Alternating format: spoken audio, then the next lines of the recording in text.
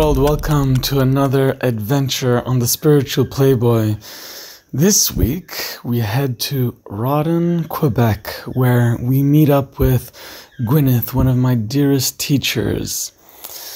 You have met Gwendydd uh, in the past when I visited her garden. She has a special living, breathing garden in the shape of uh, the flower of life, which uh, was given to her by the Micmac. We have a intention of building a temple on her land. And in order to do this, we will be expanding the flower of life shape out onto our land to find the perfect place for where this temple should be placed. Okay, so this is the entrance to the Alveoles, and the reason being is because in the Egyptian calendar, the Sothic calendar was always aligned with Sirius B. And Sirius B rises on July 23rd, right there. So this is in alignment with, which I will never see because of these trees, but that's the alignment goes through there. So as you enter in, you're entering into a three billion year old woman, so you want to introduce your name. You're just not going to walk into her. so say your name out loud. Gwendydd. Say your name out loud. Johanna. Carolyn.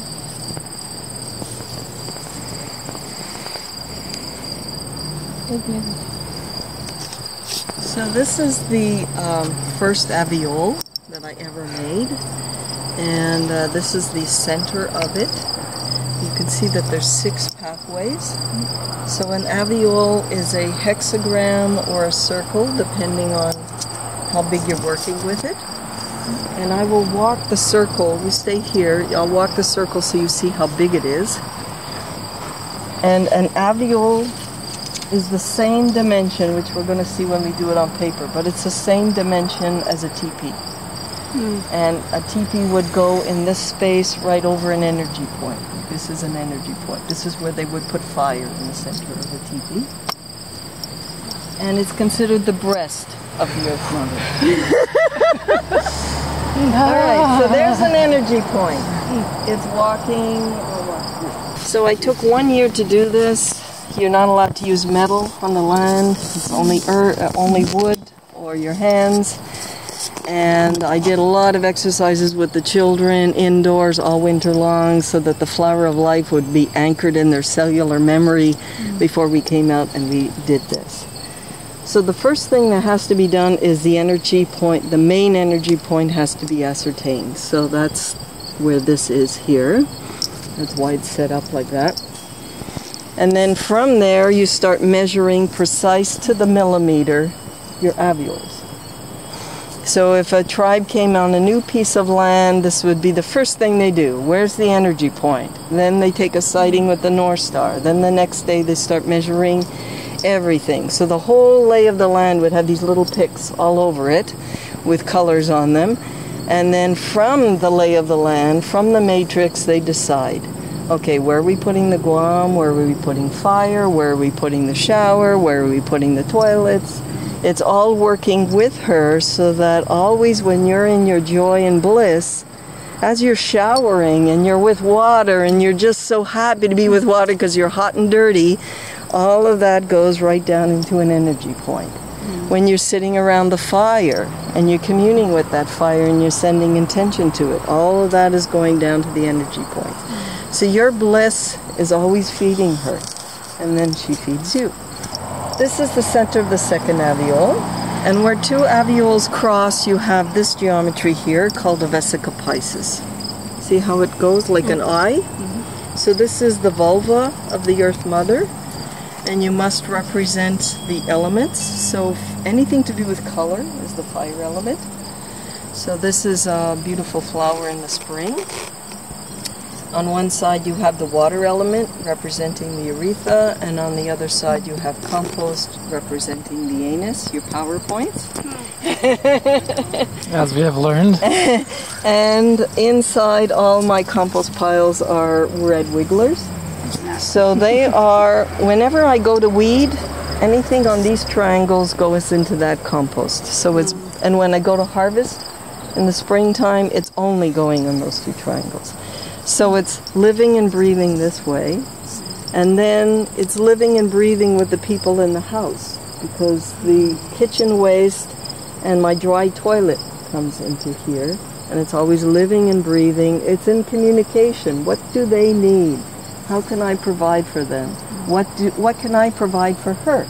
And then you plant on the side plants that are symbolic of the pubic hairs or the eyelashes. They're on the mm-hmm. side. Mm-hmm. And this would be the clitoris. These points here that come just out because, well, that's a whole other thing to show you in geometry. But the actual vesica piscis comes from here to here to this point, from there to the tomato plant to there. That's the actual official geometry of a vesica piscis. This is the hmm. language of light, and in this place is your one of your most powerful activations happening energetically in the whole garden, and it's true for every geometric position. Vesica Piscis, the language of light. So when I made these gardens, I didn't have all the information, and I'm sure I still don't because the Ilnu feed you a little bit at a time as you stay with them. You have to live with them, eat with them, work with them, play with them, and then gradually they give you little pieces of information. So this was done over many, many, many years. And um, so when I first made the gardens, I devoted it to the divine feminine. So in that trinity, you have Isis, and her flower is the lily. So at the center of all my Vesica Piscis, I have some variety of the lily family. These are irises. Now we have tiger lilies, there's day lilies. Then at the center of the alveole of the uh, alveole centers is the rose, and that's the flower of Mary Magdalene. And then at the uh, the third part of the Trinity is Sophia, and her flower is the lotus. So in Quebec we have the nénuphar, so that's in the water element. And then you must plant plants that represent the divine feminine, which is the mother energy, the divine masculine, the father energy, and the child energy. So plants that stand erect are the father. Then anything that spirals up or forms a vase, this is the mother energy, the divine feminine. So kale, parsley, tomatoes, peas, beans. This is all the feminine. And then child energy is anything that crawls on the ground that can't be contained, and you got to get in your hands and knees to play with it. So, thyme, all your squash family, strawberries. Yeah, that's all child energy.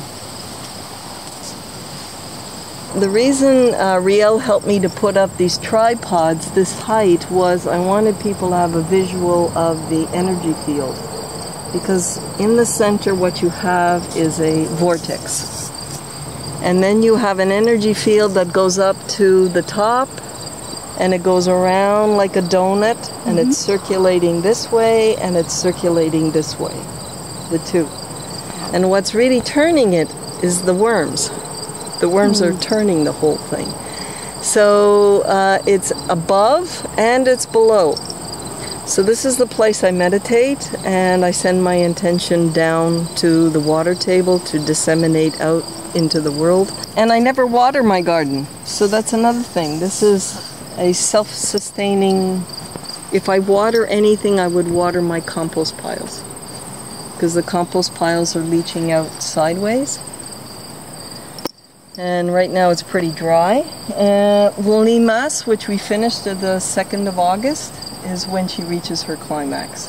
The garden is the highest at that point, giving the most abundance, and that's the celebration of La, La is mm. really this point of great abundance and climax. And now her energy is being anchored. She's slowly going down. Your compost piles are going up.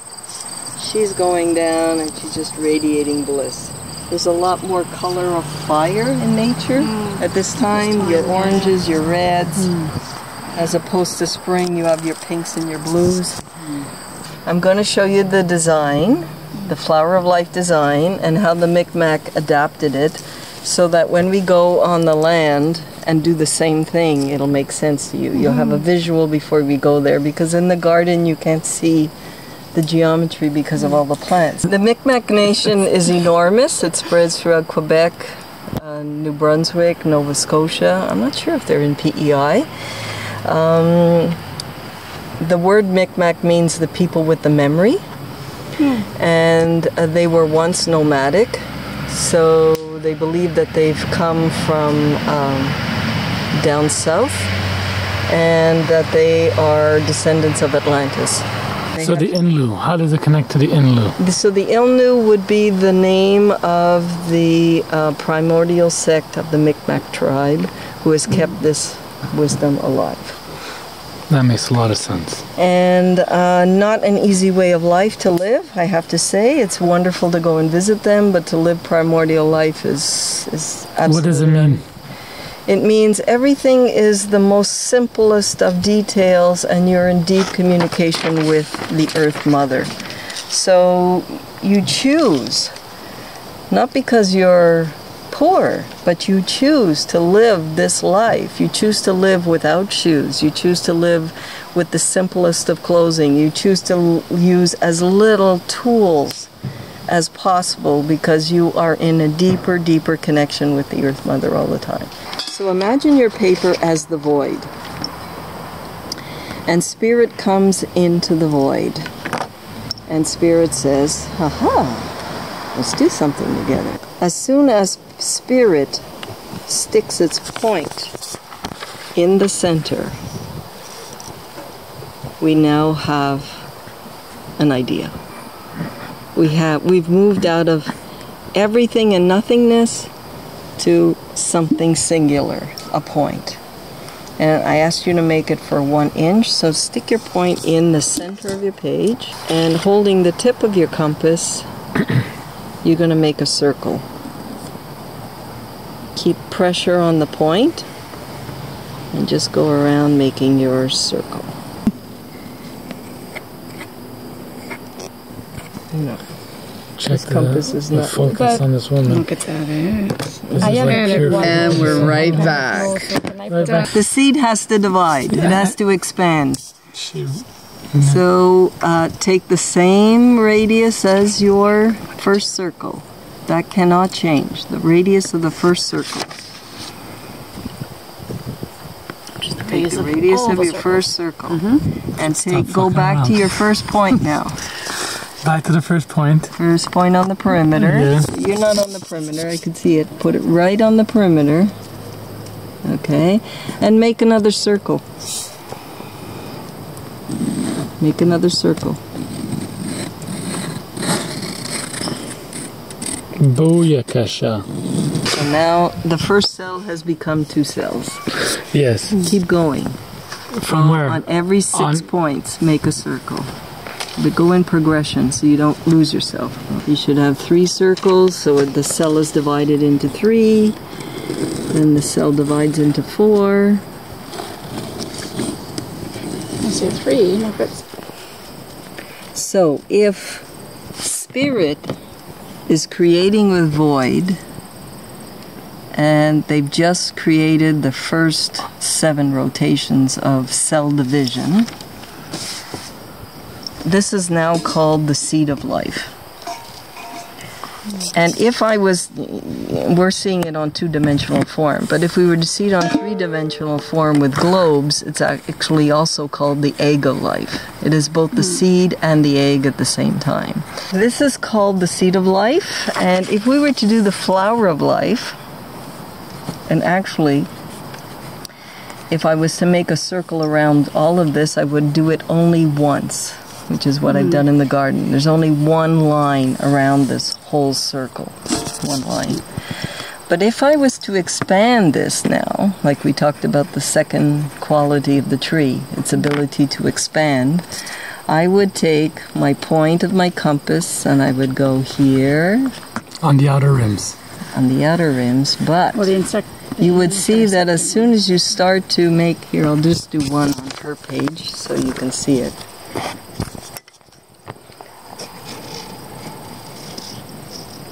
see how i cut the outside circles so So the flower of life, I have to take these outside points. Mm.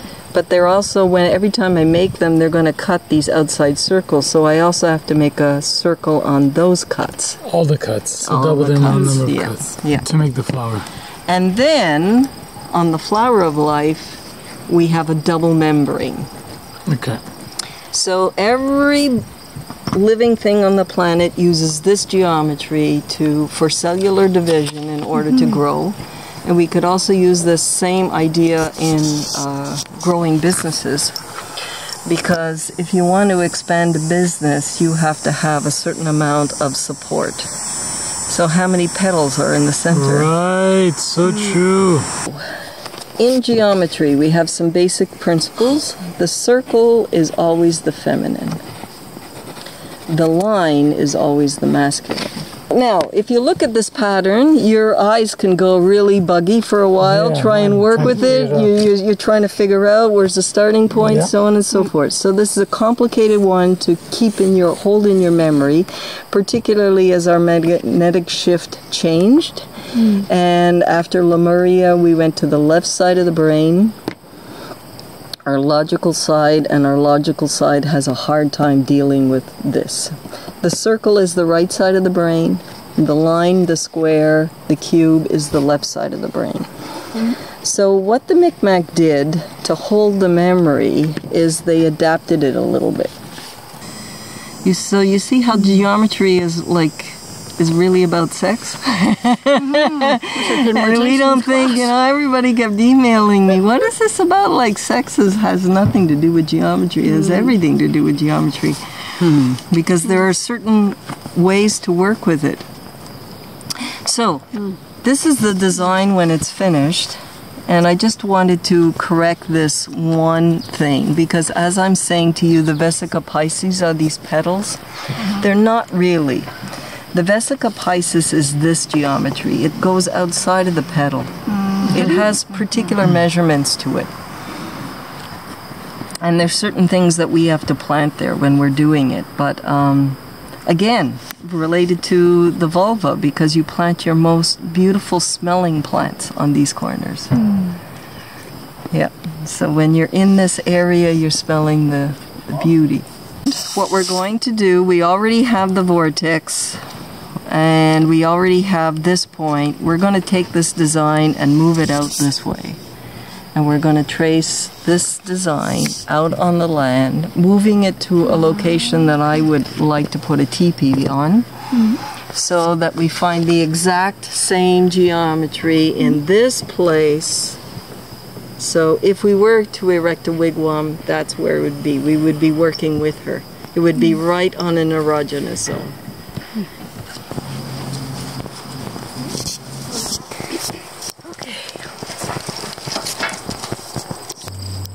So, this is the perimeter of our circle.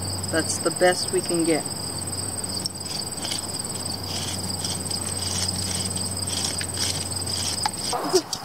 So you put a red one here.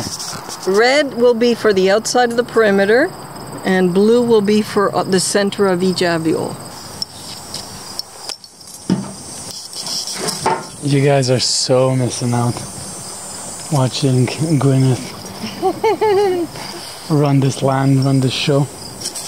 So now using the seed of life, flower of life, sacred geometry, we are tracking into the forest to see where would be the perfect center for uh, a TP wigwam. Uh, what did you call it? Uh, what are we building? A wigwam? A heart temple. It's a heart temple. Now we are going to trace the perimeter and see what this looks like. It's quite exciting. It's a multi-year project. Okay, well, I'm really grateful to all the people who came today. It was really a lot of fun for me. I hope it was for them. I know it's hard to go back into your childhood trauma of geometry and mathematics, but I think you all had fun in the end once you got into it.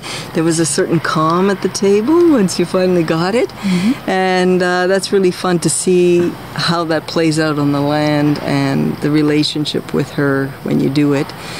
So, um, yeah, just closing to say thank you for coming. Toronto and Montreal. Let's start something together. Let's hope that this energy point plays itself out. So there you have it.